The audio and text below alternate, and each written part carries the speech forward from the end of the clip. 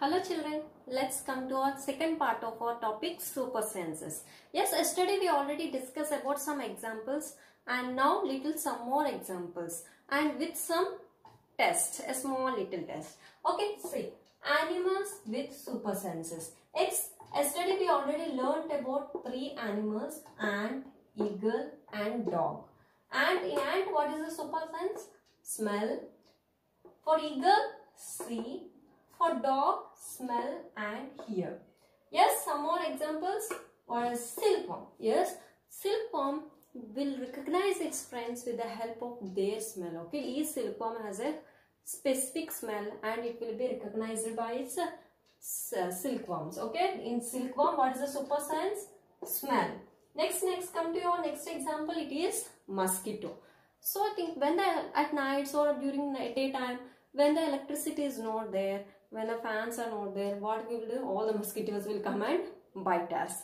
So why why how did they know that here we are and mosquito will come here directly? Yes with the help of our sweating smell they will easily recognize us and they will come to us and bite us. So in mosquitoes what is the super sense? Yes smell.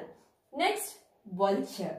Yes like as eagle the vulture will also fly high in the sky so while flying high in the sky, it can have to do take its food from yes it can easily recognize the uh, small small creatures which are going on in the ground and with the help of its seeing power. So eagle and vultures both have a good seeing power.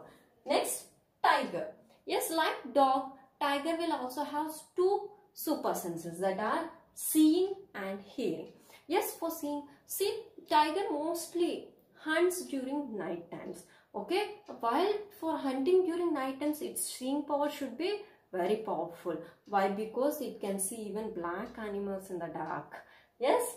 And that comparing to hearing. When coming to hearing it can hear the sounds of little little moving grass due to winds and it can recognize the difference what is the sound of the moving grass due to wind and what is the sound of the footstep of the animals. It can easily differentiate and attack the animal and catch the food and eat it. Yes, these are like the ones we can recap. And it is a smell. Eagle, it is a see. Dog, for dog, smell and hear. Silkworm, smell. Mosquito, smell. Vulture, see. Tiger, see here. Yes, these are the some more, some more examples and there is a small test for you now.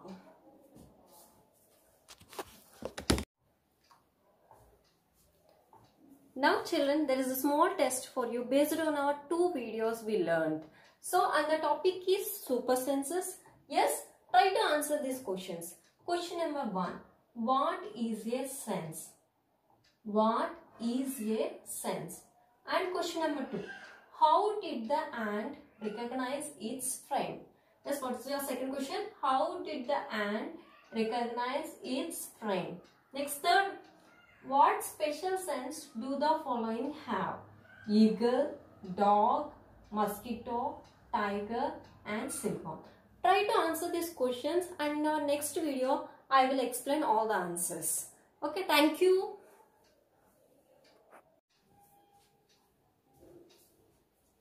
Hello children, in our next class I will give the notes.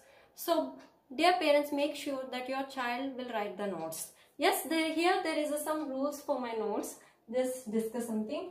First one is index. So you have to maintain a good index with a uh, good um, date, topic name and page number. Yes, after we are coming to the school, we will discuss, I will give the index to you and split up syllabus according to our KBS. So leave that index now. Second one is mention date. Okay. On whatever uh, day I have given the notes for you, you have to mention the date. What is the date on that day and start after mentioning the date, you have to start with question and answers. Next, third, whatever you are writing, you should maintain a good handwriting. Okay, good handwriting will impress your teacher a lot. Yes, am I right? Yes, if you are having a bad handwriting, don't disappoint. Okay, try to practice that now. This is a stage for improving your skills. Okay, in whatever field, either listening or either speaking or either reading or either writing, try to improve this. This is a time for you. You have a lot of time at home. Try to improve. Next fourth, and you should write the questions in black pen and answer with blue pen. Okay, only two pens you should use blue pen and black pen. Okay, questions with black pen and answers with blue pen. If you don't have black pen, use both answer and questions blue pen and but don't use red pen. Next, fifth, a gap between word to word. Okay, there should be a finger gap between word to word. Don't make a continuous letters uh, whether I don't know what is the word that is. So maintain a good gap between word to word. This is about a general instructions to the notes and about what is the easiest topic I am discussing, what how I will give the notes. Just now we will discuss. This first I will give the topic name and after giving the topic name I will first I will give the whatever the difficult spellings in it I will give the spellings okay? Uh, whether there are some new spellings are there some difficult spellings may be there and some new terminologies are there with meanings I will give. Next second question and answers okay? With the uh, normal question and answers whatever in the NCERT textbook I will give. Next third fill in the blanks okay? There in the content I will prepare uh, five or six fill in the blanks according to the I will give. Next true or false the next I will give if any summer any relating to content any other is there means I will give otherwise leave. Next this is about all our content means lesson pattern but uh, every time I will give test 1 test 2 on, on the online platform if I give like that means what you have to do on the other side of your notebook take to other side of the notebook and whatever you do we put date and test number one and answer those questions. Whenever you come to the school i will check the notebook. Okay? Thank you